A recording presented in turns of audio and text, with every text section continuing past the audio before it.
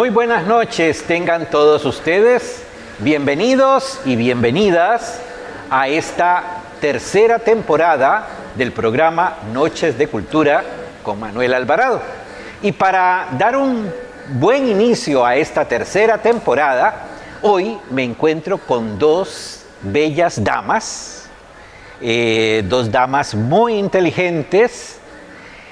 Una es una actriz puntarinense muy conocida por ustedes, integrante del grupo Vías, que surgió en esta ciudad de Punta Arenas hace ya bastantes años.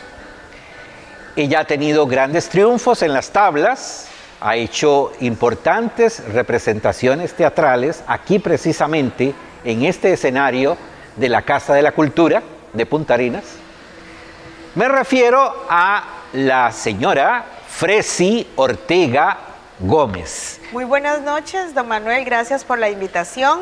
Esta tercera temporada esperamos llenar las expectativas de todos nuestros seguidores y esta noche principalmente me enorgullece que nos acompañe la señora Sonia Jones para hablar de un tema que enamora, un tema muy puntarinense, como son los boleros de Gilberto Hernández. Efectivamente, hoy nos enorgullecemos acá de tener a una profesora jubilada de la Universidad de Costa Rica, de la sede Rodrigo Facio. Ella es, como ya la ha anunciado doña Fresi, ella es doña Sonia Jones. Bienvenida. qué placer, Manuel y Fresi, que me sigan invitando. Y más para hablar de, de un tema tan querido relacionado con Punta Arenas y con el discurso amoroso. ¿Quién no ha sido apelado más de una vez en esta vida por el discurso amoroso? Y casi que cabe la pregunta, ¿de qué hablamos cuando hablamos de amor? Claro que sí, y es que pues eh, las personas que ya somos un poquito grandes, recordaremos que Punta Arenas esta ciudad bañada por el mar, esta punta de arenas, esta flecha arenosa, fue el escenario entre la década de 1930 y la década de los años 50 de grandes, pero grandes amores que surgieron todos en aquellos famosos salones de baile y al compás de aquellas tonadas de boleros que en su momento fueron interpretadas por la voz de un gran porteño, como lo fue Gilberto Hernández. Sí, don Manuel, efectivamente. Esta noche vamos a disfrutar y a remontarnos a aquellos años en el que existía el Salón de los Baños, visitados por muchos, por muchas personas de la meseta central, no solamente puntarenenses, personas que aquí venían a enamorarse, a encontrar en el arrullo del mar ese secreto que podríamos llamar amor, ¿verdad?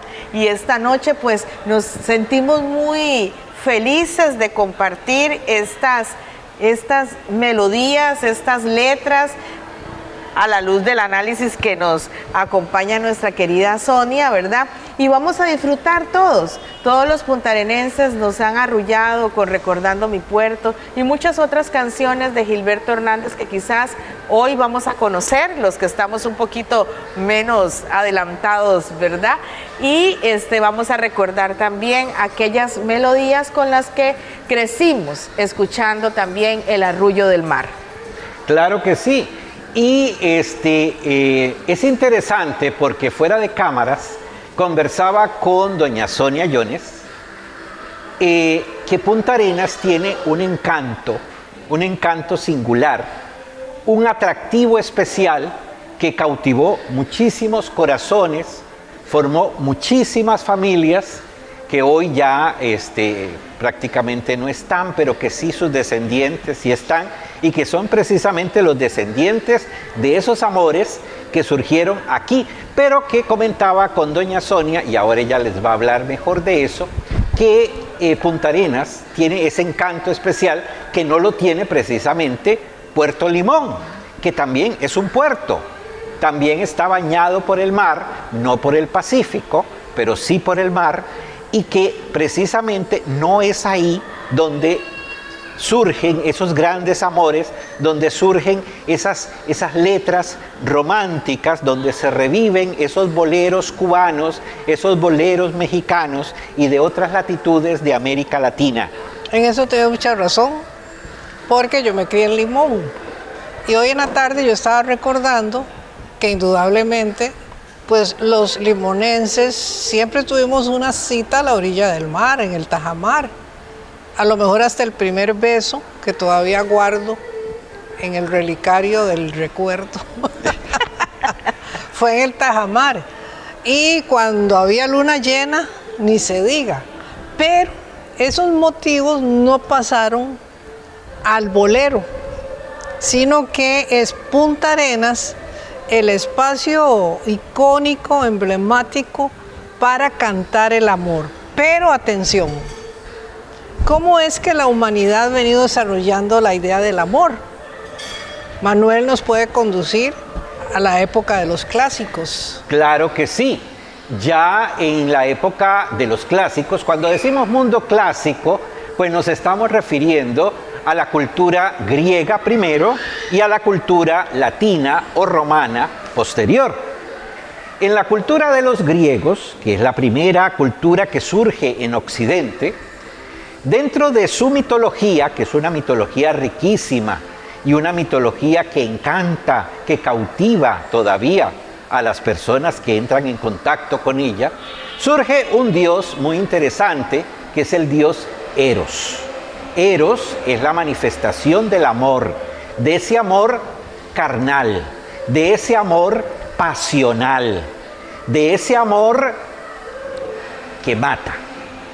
Aunque amor pues también eh, se asocia con la vida, pero muchos amores matan. Pues ese es Eros, ¿verdad? Precisamente en la cultura griega, Eros era un niño lo representaban como un niño de unos 10, 11 años, que corría por los campos eh, desnudo y este, le gustaba hacer travesuras.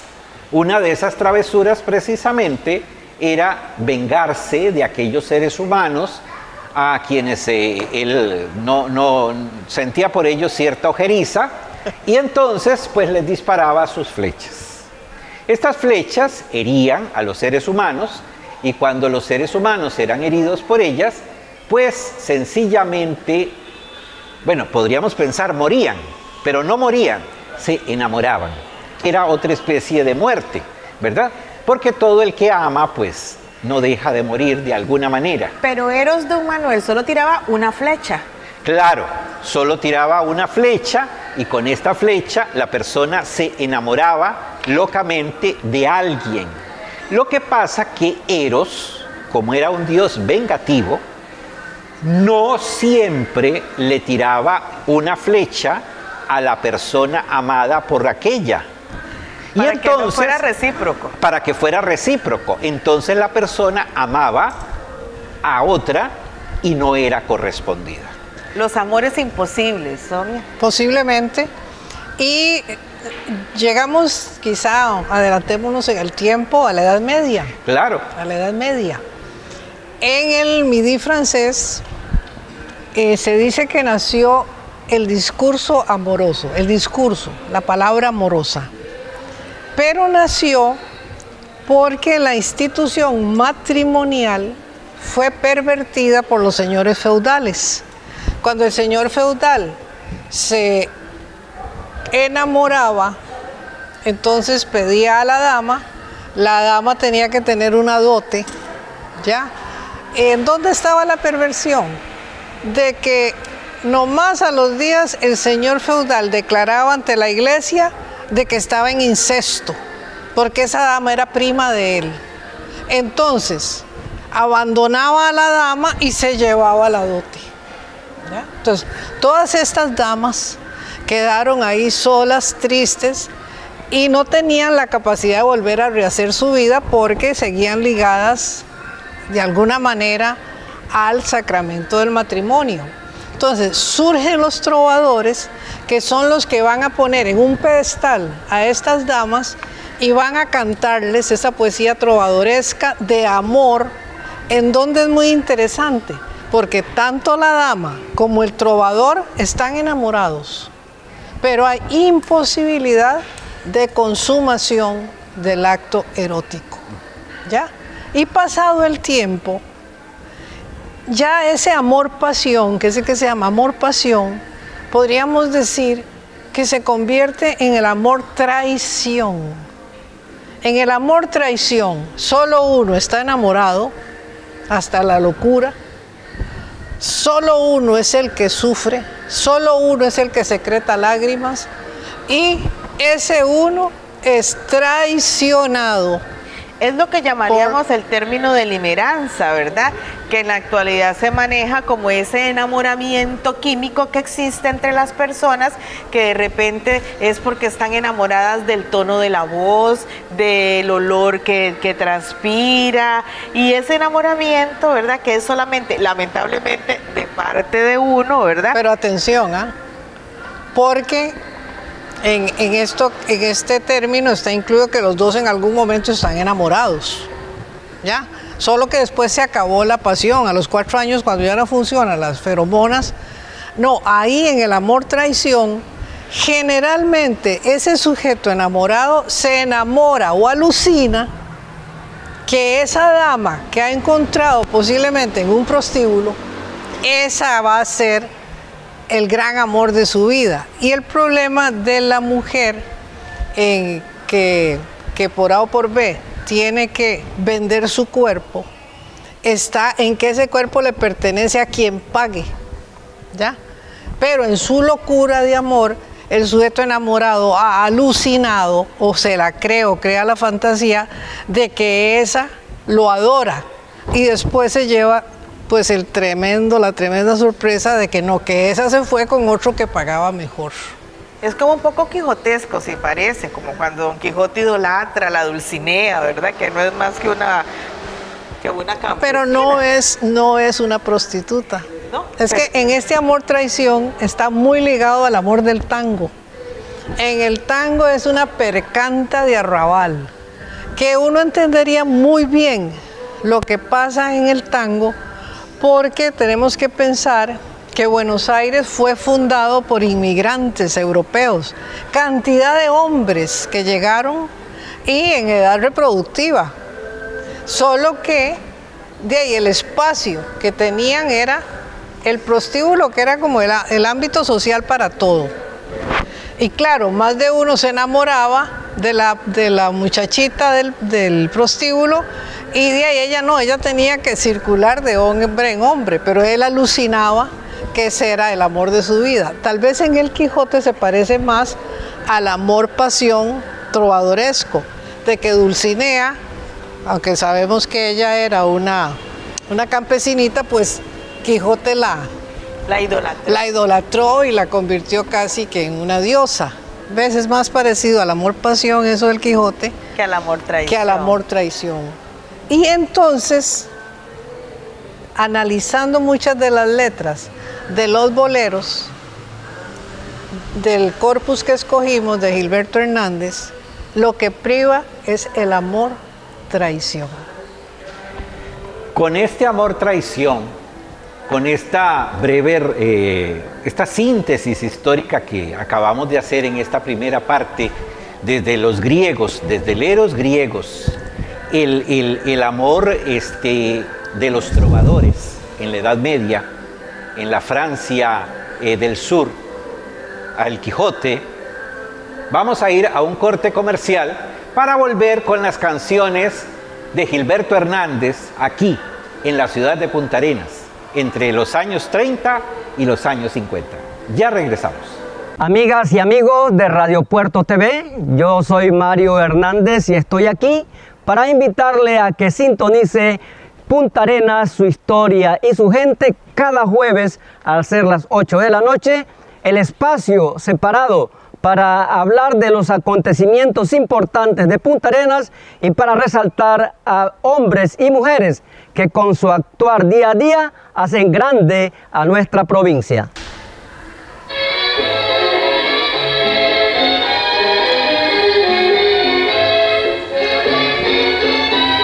¿Recuerdan ustedes a Gilberto Hernández?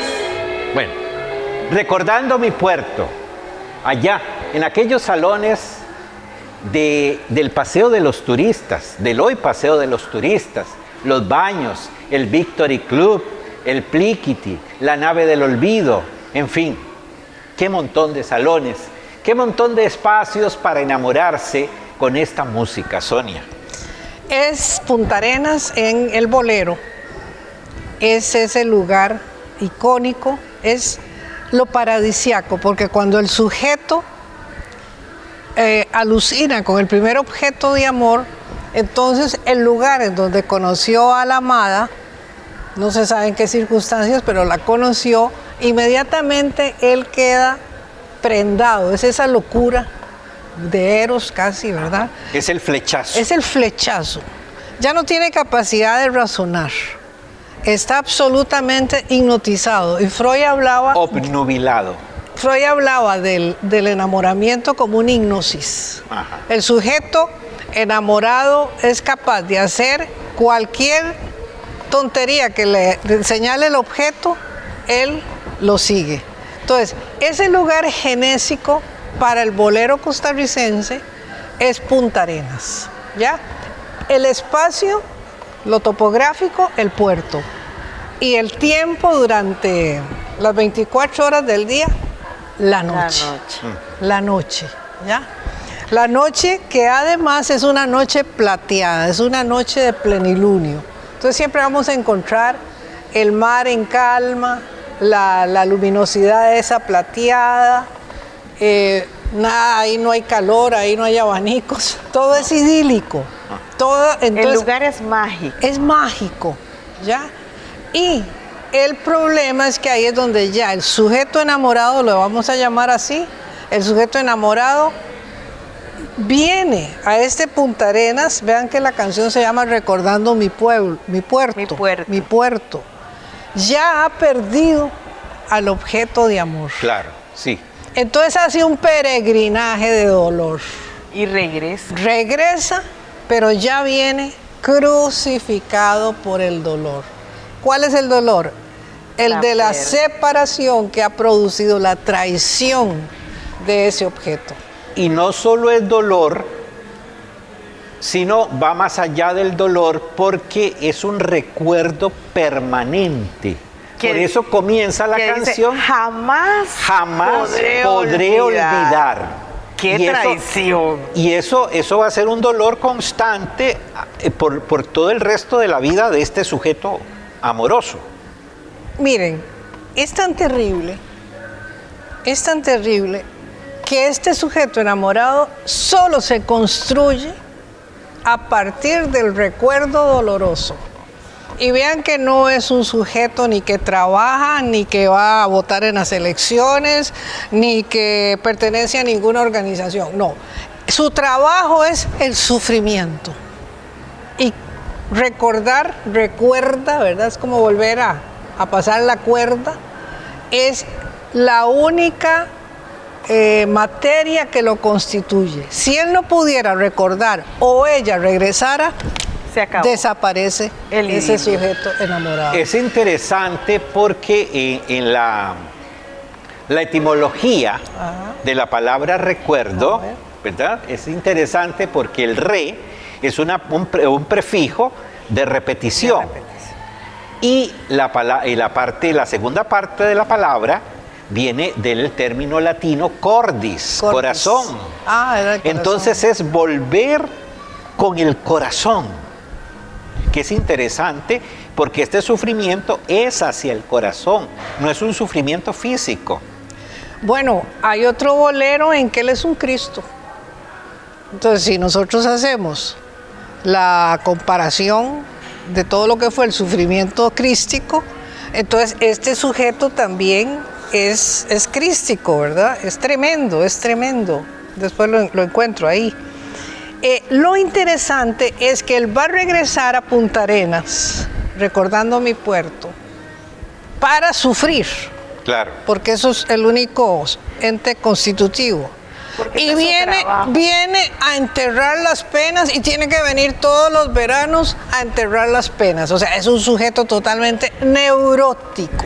Masoquista. hasta las- Masoquista, hasta neurótico. Y eso nos fascina a nosotros. Ay, qué romance, sufrir de amor. Por favor, cuando vimos este recordando mi puerto, es como el himno de Punta Arenas. Claro. Claro. O sea, porque todos de alguna manera somos sujetos enamorados. ¿Quién no quisiera estar realizado plenamente en el amor y que el otro o la otra te corresponda?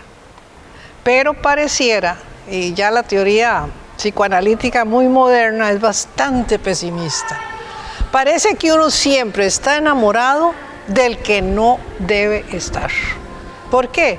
Porque ese que, del cual vos te enamoras está enamorado de otro o de otra.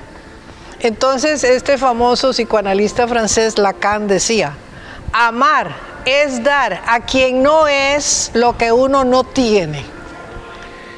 Que precisamente está en, el, en, en la acción de Eros al disparar su flecha. Ahí está. Ahí está. ¿Verdad? O sea, no pareciera no haber nada nuevo. Vos que sos más joven, ¿cómo se juega la cuestión amorosa? Tal vez el bolero ya no se escucha tanto, es la balada, ha evolucionado a la balada, pero la balada de amor es tan pesimista. Sí, es, suele ser muy pesimista, ¿verdad? La mujer siempre está suplicante, ¿verdad? Eh, o cuando de repente escuchamos algunas canciones cantadas por un hombre, ellos pues recuerdan, pero con un ego, ¿verdad? No, es que en estos boleros, en estos boleros, ¿verdad? El hombre como que se arrastra aquí. Gilberto Hernández sufre, ¿verdad? Eh, todo el dolor de la pérdida del, del objeto amado. En Noches de Punta Arenas, este otro bolero también insiste sobre el asunto de la luna. Siempre hay una luna llena. Y vean Siempre que este bandido satélite, donde uno ve la luna llena, hay una reacción química y amorosa y del deseo. Definitivamente, nosotros los pobres sujetos terráqueos tenemos Y siempre la luna manejándonos los la estados luna anímicos. manejándonos, ¿verdad? Bueno, manejando las, las, las corrientes marinas y todo eso. Pero uno ve la luna llena. Yo recuerdo que mi mamá me decía, cuando veía la luna, dice, "Ay, qué ganas de tener 15 años. Oh. Y yo le decía, pero si no me dejas tener novio.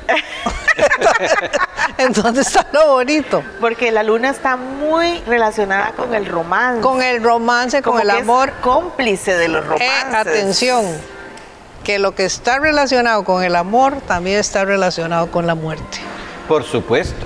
por y la luna, recordemos en Federico En García Federico Lorca, García Lorca. la luna siempre está presente cuando va a haber Cuando muerte. hay muerte. Pero también es un símbolo lorquiano de los amores trágicos.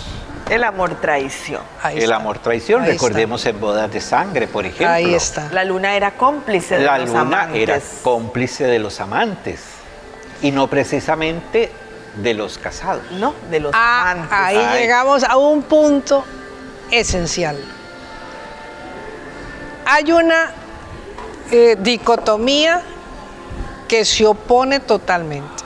Una cosa es la ley que regula el deseo y te lleva a escoger ese cuerpo y a ponerte una argolla delante del cura o delante del juez. Esa ley es la que unifica a una pareja bajo el lazo matrimonial y tiene como uno de sus primeros objetivos la procreación. La procreación. Ahí el varón también se construye su masculinidad de género, siendo el proveedor en ese matrimonio, siendo el protector y siendo el preñador. ¿Ven? Eso es en el matrimonio. Pero ¿qué pasa cuando analizamos estos sujetos enamorados del tango inclusive y de estos boleros que hemos escogido? Hay una inversión total de esa construcción. ¿A dónde se ha visto que un hombre llore? Los hombres no, No deben de una llorar. cultura patriarcal como No la debe nuestra, llorar, no deben imagínense llorar. un protector llorando, un padre de familia llorando, no. Eso de las lágrimas es una figura del discurso amoroso designado a las mujeres, porque sabe que si llora conmueve.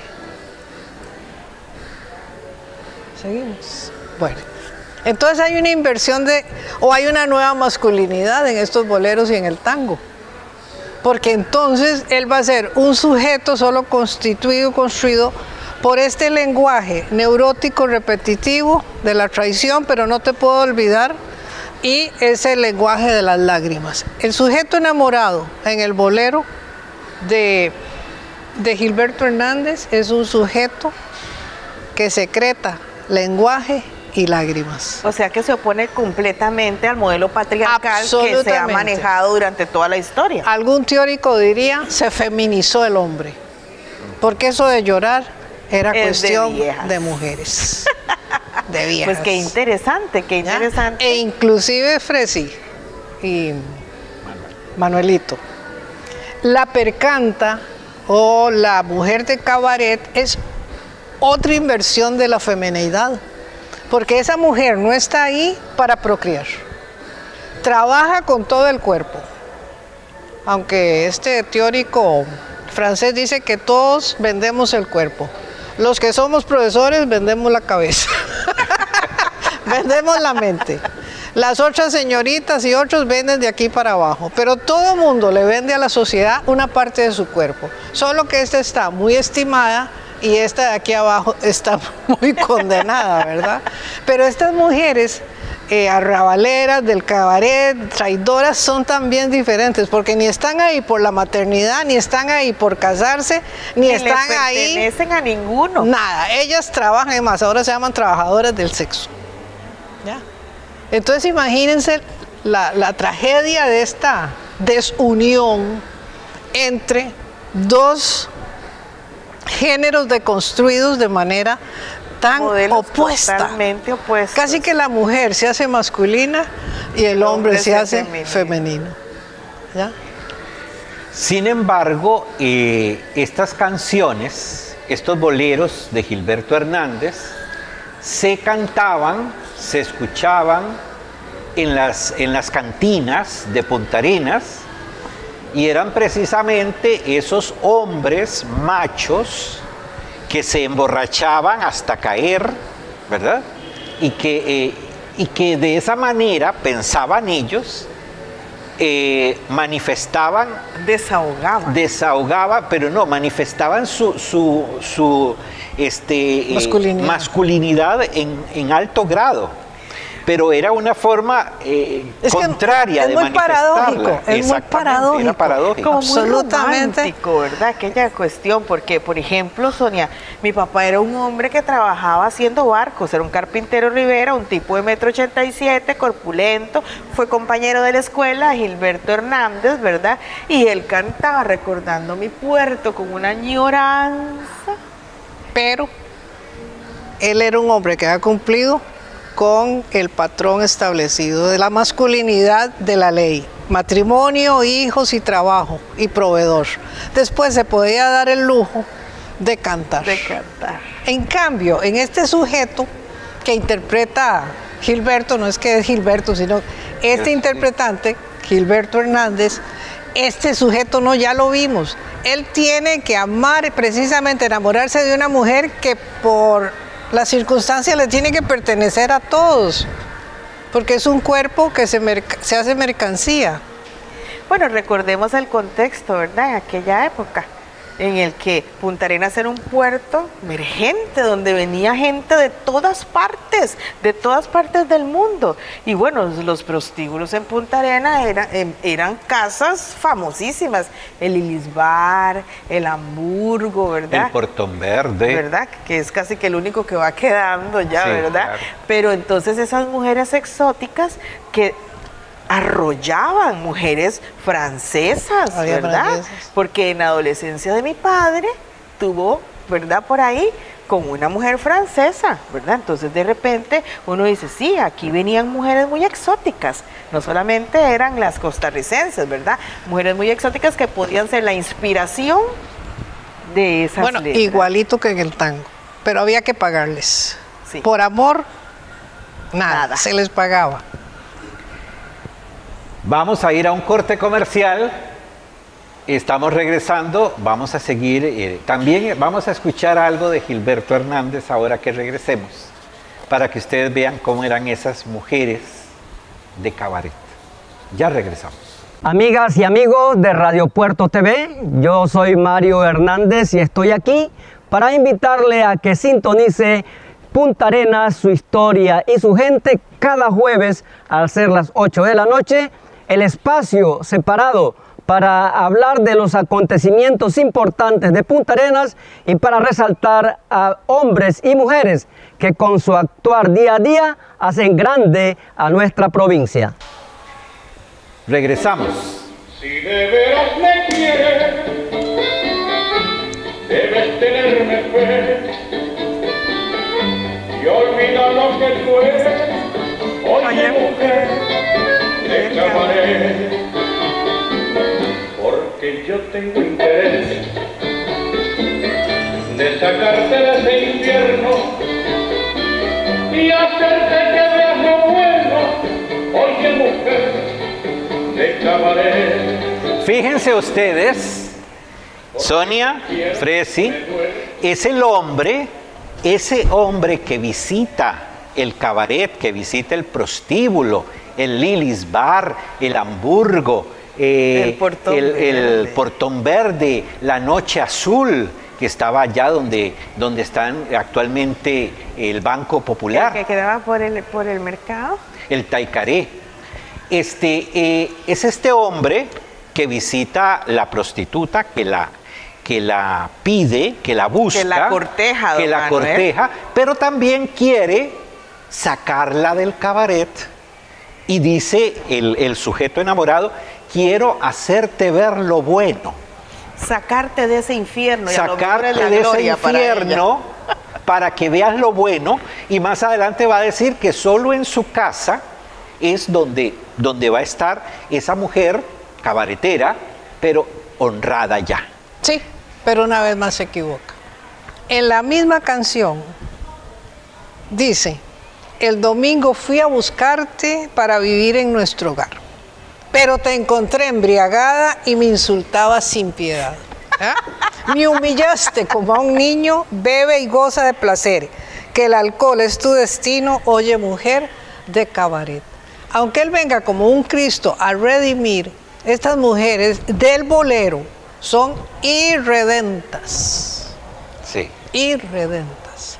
O sea, en ese sentido, si el hombre pensó que por ser hombre la podía honrar, como se decía cuando yo era chiquilla, se equivocó. En el bolero, yo no sé en las realidades que ha pasado y, uno sabe muchos casos, pero en la, en, la, en la novela iba a decir, en el bolero este de Gilberto, como en los tangos, que eso me interesa mucho porque hay un corpus. Podríamos hacer en otro momento Sí. un programa de tangos porque recuerden ustedes y recuerden quienes, quienes nos están viendo que Gilberto Hernández cantó también tango.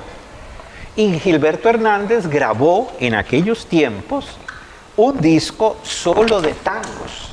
Y es que Sonia y Fresi eh, en Punta Arenas, como era esa, esa sociedad cosmopolita, como ahora lo, lo apuntó muy bien este, eh, la profesora Fresi, este, eh, el tango gustó mucho. Claro, en aquella época su, su abuelo, mi papá y toda esta gente era amante de los tangos. Se Carlos bailaban los tangos. Claro, Carlos Gardel, Hugo del Carril, Agustín Libertad, Magaldi. Libertad Mag- eh, Lamarque, Agustín Magaldi, eh, Troilo, bueno, tantos, ¿verdad?, del tango sonaron aquí. E inclusive hoy que estaba repasando esas, esas músicas, ¿verdad? Tan bellas, me encontré en el bolero Cicatrices la, la última estrofa con ritmo de tango. La última La estrofa última de cicatrices. de cicatrices Vamos con entonces, ritmo de ¿qué le parece, Sonia, si escuchamos esa pieza Cicatrices? Porque es muy interesante. Es muy interesante. Es muy interesante Y porque... reúne un poco, resume lo que hemos estado Pero hablando. eh, esas cicatrices que dejan esos amores y que- Traidores. y que, que siguen abiertas, siguen doliendo. Siguen doliendo, porque si no el sujeto desaparece. inconcluso, Desaparece, si no tiene dolor. desaparece. Él tiene que estar sufriendo, Vamos Y- a escuchar cicatrices. Tocándola así, tocando la herida. ¿Ves la herida? Oiga que ya, ya se va acercando al tango. Sí, el, el ritmo de tango va, va como por debajo. Cicatrices incurables que una herida Son cicatrices incurables. que ha causado la vida en su triste batalla. Cicatrices que ya no se cierran nunca porque llevan siempre trunca la esperanza de curar. O sea, una cicatriz de amor no cierra. Qué feo, ¿verdad? Qué doloroso. Es terrible. Tal vez si pudiéramos llegar a la última estrofa Vamos a sería pedirle magnífico. aquí a, a Alvarito y a José que nos lleguen a la, a la última estrofa. A la última estrofa de la canción.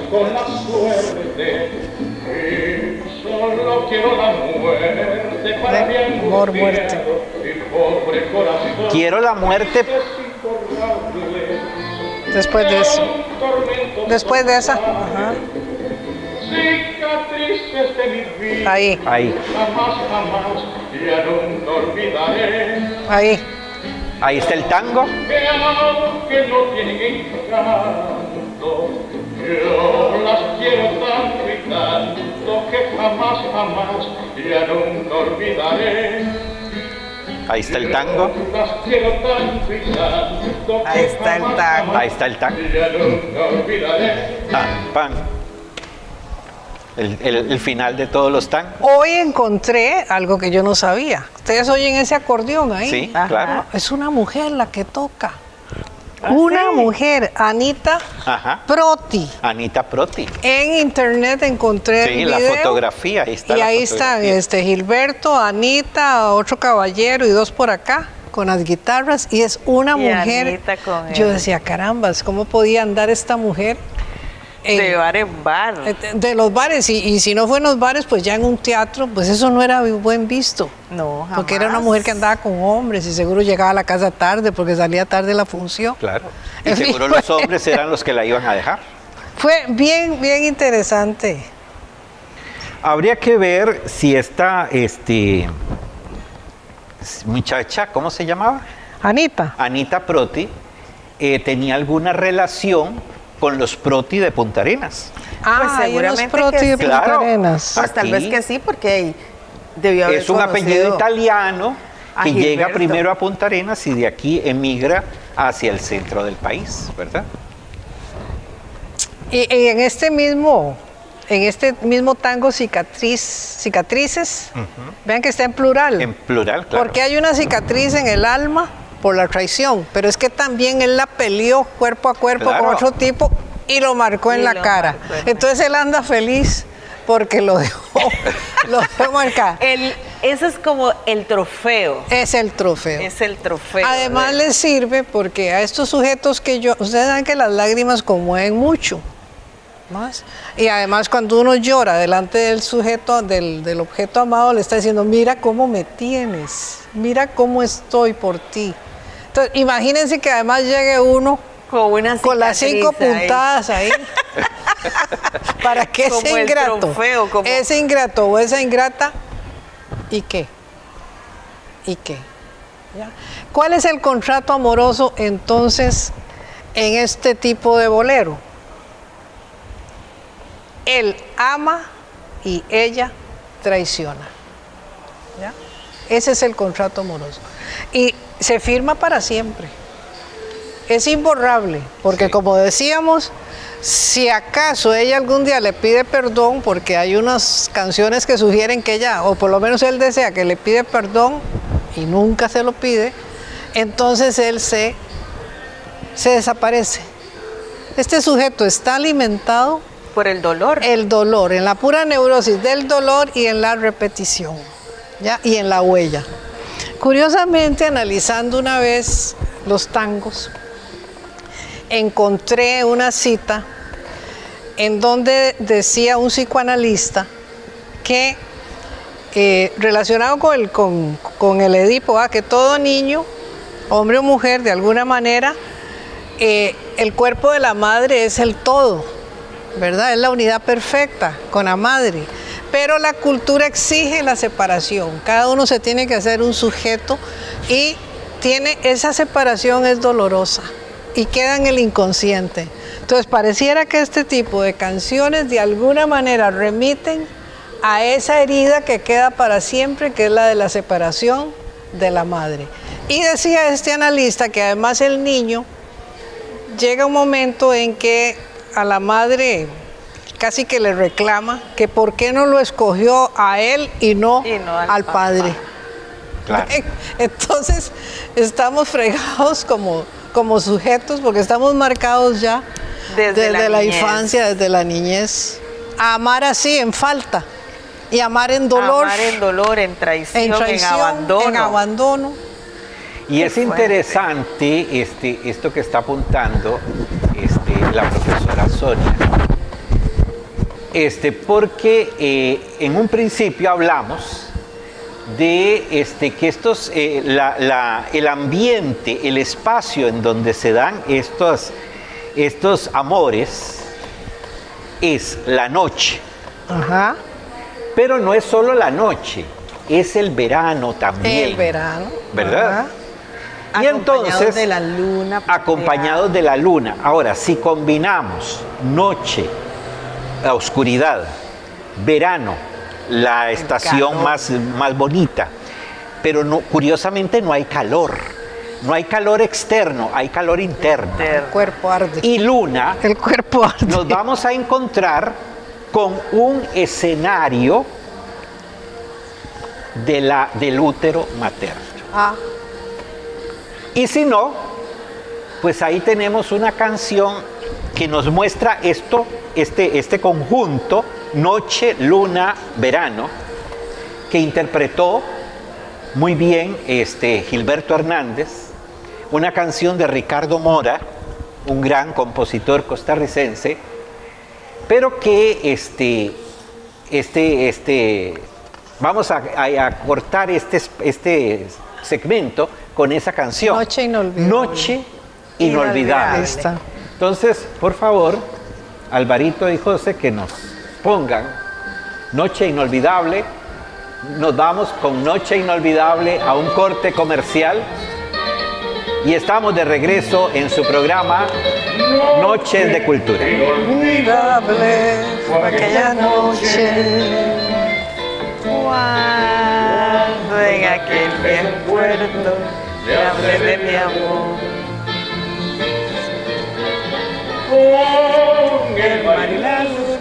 Amigas y amigos de Radio Puerto TV, yo soy Mario Hernández y estoy aquí para invitarle a que sintonice Punta Arenas, su historia y su gente cada jueves al ser las 8 de la noche, el espacio separado para hablar de los acontecimientos importantes de Punta Arenas y para resaltar a hombres y mujeres que con su actuar día a día hacen grande a nuestra provincia. Con el mar y la luna que fueron testigos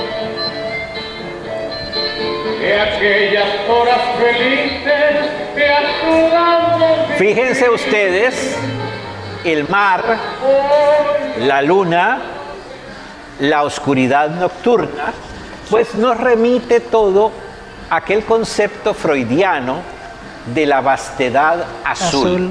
Sonia, Bueno, hay otro espacio menos eh, desarrollado en los boleros escogidos, que es el del barrio.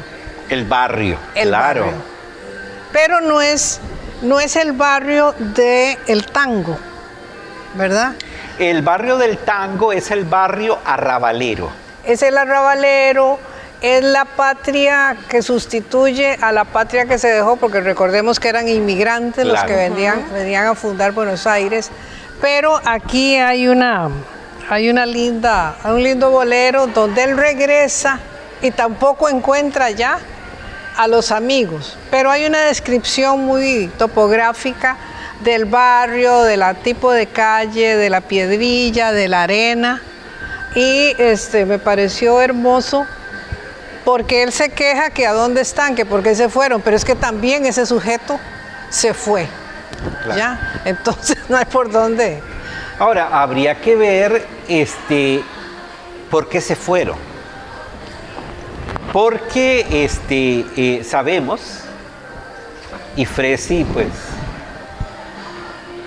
es tan porteña Fresi, es tan porteña, no sé por qué, pero yo siento a Fresi como tan porteña.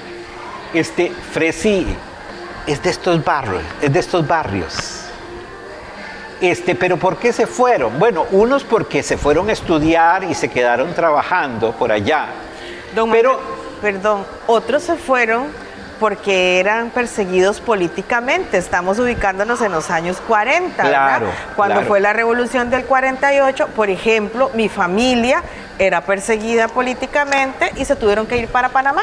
Claro. Huyendo. Entonces, esos amigos de Gilberto Hernández, que eran sus compañeros de escuela, eh, ¿verdad? Que incluyéndose a la familia de mi papá, de cuando él vino, no había nadie, porque la política los había hecho huir. y también, volviendo al asunto que nos trajo hoy aquí, a ese sujeto amoroso, muchos se iban para tratar, para tratar, pero no lo lograron, de borrar esas cicatrices que el licor, que los gilbertazos no pudieron borrar. Explicarlo de los Gilbertazos. Los Gilbertazos, bueno, era, eh, bueno, es increíble. Hernández, ahora que, que Sonia Jones habló de, de ese barrio de Gilberto, que era precisamente el barrio El Carmen, aquí de la esquina del Liceo José Martí hacia la punta. Todo eso era el barrio de Gilberto Hernández.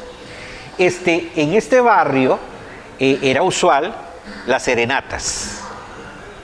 Y entonces era Gilberto Hernández, Luis Humansor, Neno Carballo, Pedro Morales. Era el grupo que iban, primero comenzaban en las cantinas y de ahí se iban para la que cumplía 15 años, para la casa de la que se iba a casar o simplemente para aquella muchachita que les gustaba a cualquiera de los que andaba ahí, que no necesariamente eran los guitarristas o el cantante, andaban otros tantos hombres, ¿verdad? Y entonces es ese barrio el que va a describir en esta pieza, ¿verdad?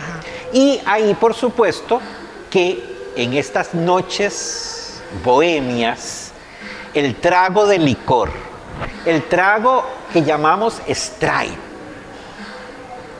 el, Sin mezcla, el- sin mezcla, el trago puro, pero tampoco era un whisky etiqueta negra, no, era el licor común y corriente, el que vendían en las cantinas de las esquinas de Puntarinas. Entonces ese trago, así cor cor, de un solo, que raspa, ese es el Gilbertazo, que por, precisamente le pusieron Gilbertazo porque Gilberto Hernández lo acostumbraba o lo necesitaba, ¿verdad? Y ya me hiciste la boca, Y güey. ya, ah, bueno, eh, ya, eh, ya, este, eso seguirá fuera, fuera de cámara, ¿verdad? Pero este, ese es el famoso Gilbertazo. Y entonces, este, este barrio, con sus callecitas de arena, donde vivió el papá de Fresi, donde vivió mi mamá, donde vivió mi papá, ¿verdad? Aquella eh, esquina donde vivía Rosalía Palacios, que era la misma esquina donde vivió este Gilberto Hernández. Eh, más allá, la esquina del Mambo, ¿verdad? Esas callecitas de arena que dan al mar, que el mar estaba muy ahí, muy Muy cerca cerca. no había calle eh, pavimentada. no había, eh, no estaba totalmente despejado porque eran filas de árboles, de papaturros, De almendros. de almendros, ¿verdad? Este, esta es la calle precisamente que describe Gilberto Hernández, a la que vuelve, pero no solo no están los amigos porque se fueron, sino porque ya la calle tampoco está, quizás. Todo cambia. O, o- o ha cambiado mucho, Todo cambia. ¿verdad? Y entonces, pues, ¿qué les parece si para terminar este programa de hoy, Bailamos un bolero. bueno, como que bailar, bailar, pues no, pero sí podríamos escuchar esta esquina de mi barrio. ¿Me dejas un minuto? antes Claro de que sí. A pesar de esa tristeza, de esa neurosis, de esa tragedia, de, de lo irredento de las mujeres, de la traición, el bolero a la hora de ejecutarlo como danza remite a la conjunción perfecta. Bailar un bolero para mí es como volver a estar en los brazos de la madre. En cambio, el tango, vean que el tango son unas figuras Un de jaleo, es, un jaleo. estira y encoge que ni siquiera a la hora de interpretarlo como danza permite eh, la unión. En cambio, el bolero tal vez por eso nos guste tanto y soportemos esas letras tan duras, porque remite y nos invita al abrazo, que es una de las grandes figuras del amor. El bolero es la música de la cantina y es la conjunción de los opuestos Y en el salón de baile, también. ahí Vamos a terminar este programa de hoy escuchando precisamente esta pieza, eh, una de, bueno, todos los boleros de Gilberto son muy lindos, ¿verdad? Este, eh, que se llama Esquina de mi barrio. Y quedó algo ahí sin tratar. A ver. Pero en fin, eh, el espacio que tenemos es poco y los temas son amplios. Hay un tema interesante, Fresi y Sonia, una diferencia entre el amor mm, de personas casadas, del matrimonio, y el amor de la pasión. La pasión y el amor. el matrimonio mata el amor. Claro, el matrimonio mata el porque amor. sé Por que supuesto. el deseo se hace ley. El deseo se hace ley y la pasión se anula. La, la pasión te hace loco y es muy peligrosa. Claro. ¿ya? Pero si ustedes revisan el código de familia, no existe la palabra amor en el código de familia. Dice, el hombre debe aportar el no sé si un 80% a la manutención. Todos son debe, debe, debe, debe. Y no hay nada más opuesto al deseo que el debe. Y menos si debes también. Esquina de mi barrio. Muchas gracias por estar con nosotros esta noche. Muchas gracias por iniciar con nosotros esta tercera temporada de Noches de Cultura. Muchas gracias a Fresi Ortega. Muchas gracias a Sonia Jones. Y los espero en la próxima semana para otro programa de Noches de Cultura. Recuerdo aquellas tardes en que con mis amigos jugábamos por toda la arena. Después de varios años he vuelto a mi barrio, reencuentro a mis amigos, pregunto dónde están, las esquinas muy tristes, con